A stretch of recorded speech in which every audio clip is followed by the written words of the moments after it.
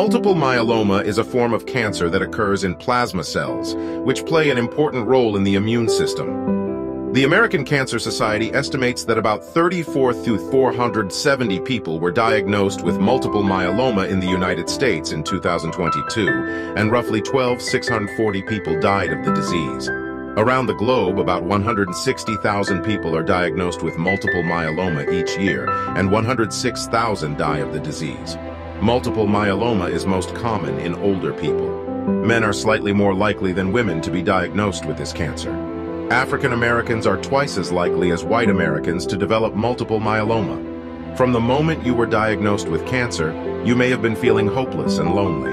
But you are not alone. You can learn about multiple myeloma treatment options with our free matching service, which uses artificial intelligence technology to find clinical trials of promising new therapies.